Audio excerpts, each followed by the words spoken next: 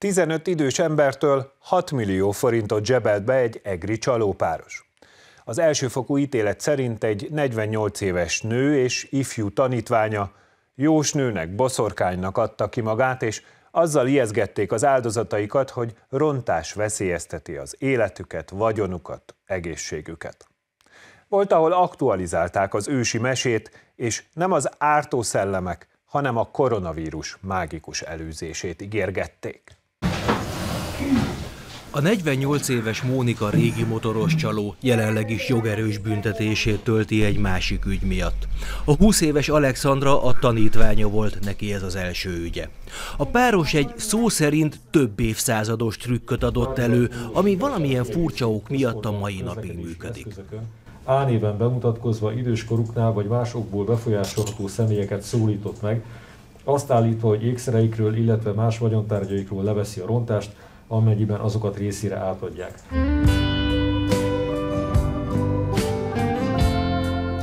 Mónika és Alexandra reggeltől estig rótták az Egri utcákat, idős beteg embereket szólítottak le, meghallgatták a panaszaikat, majd bizalmasan közölték, hogy tudnak segíteni. Mert hogy ők jósok, akik látják a nem evilági dolgokat. Látják például, hogy rontás van az aranyláncon, karkötőn, pénztárcán, vagy éppen a mobiltelefonon, vagyis bármin, ami értékes és érdemes ellopni. Ezután felajánlották, hogy elviszik egy szent helyre megtisztítani az elátkozott holmikat, amiket aztán a tulajdonos természetesen soha többet nem látott viszont. A páros két év alatt 15 idős embert vert át, illetve ennyi sértettet talált meg a rendőrség. Voltak, akik annyira hittek a csaló jósokban, hogy még a lakásukba is meghívták őket.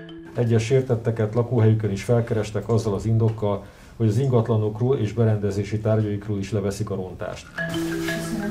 Miközben Mónika megáldotta a házat és nem mellesleg lekötötte a tulajdonos figyelmét, Alexandra rejtett értékek után kutatott.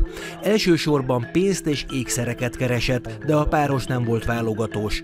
Az ügyész hosszan sorolta, mi mindent loptak el. Egy 1000 forint értékű újatlan trikót, egy 1500 forint értékű lepedőt, egy 530 forint értékű krémszínű gyertyát, egy 300 forint értékű konyhai kést, egy 200 forint értékű konyhai törlőruhát. Az áldozatok többségétől pár tízezer forint értékű apróságokat vittek el, de volt olyan sértett is, akitől több mint két millió forintot zsákmányoltak, mert ráakadtak a rejtett értékeire.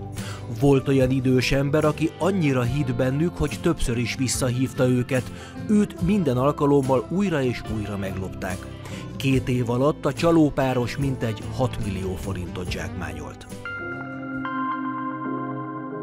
A kékfényben számtalan alkalommal mutattunk már be az egri pároshoz hasonló csalójósokat.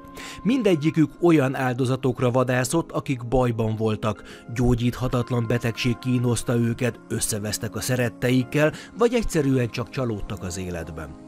A jós, boszorgány vagy halott látó az utolsó szalmaszálat kínálja a szerencsétleneknek, akik kétségbe esetten akarnak hinni, mert más már nem maradt nekik.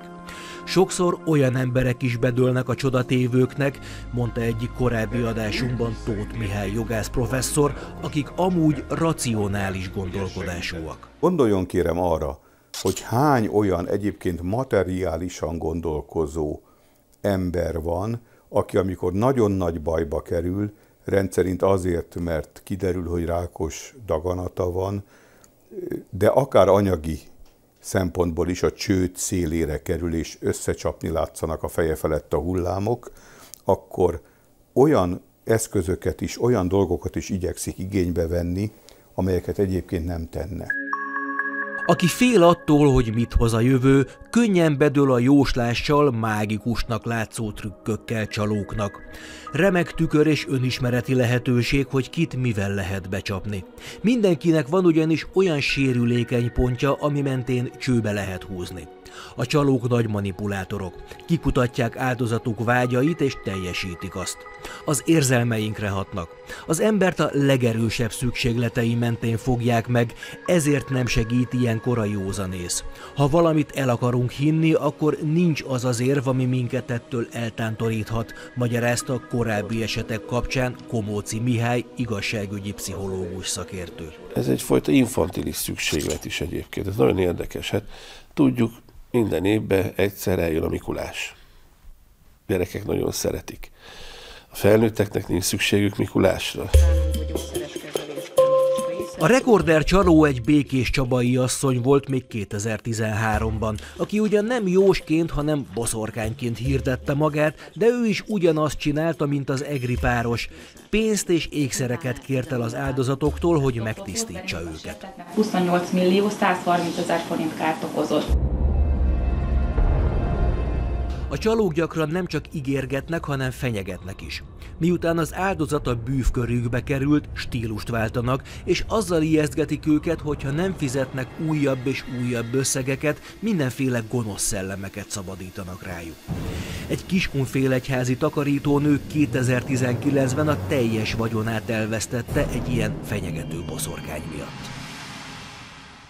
Tartott azonban a vádlottól, félt tőle, ugyanis a vádlott azzal tartotta őt folyamatosan nyomás alatt, hogy ismeretlen nyelven beszélt Duru Zsolt körülötte, és félt a sértet, hogy átkot szór rá. Az egri csalópáros Mónika és Alexandra is folyamatosan fejlesztette a trükköket.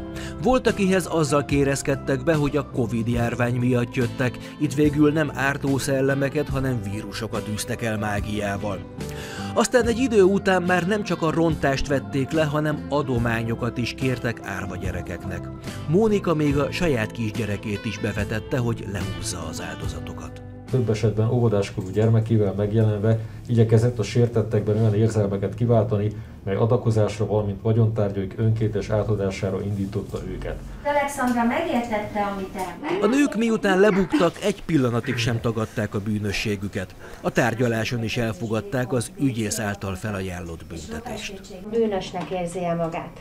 Igen, teljes beismerő vallomásomban, igen. Folytatólagosan elkövetett csalásért Mónika végül 5 év börtönt kapott, Alexandra, mivel ez az első ügye, hármat. Az ítélet jogerős.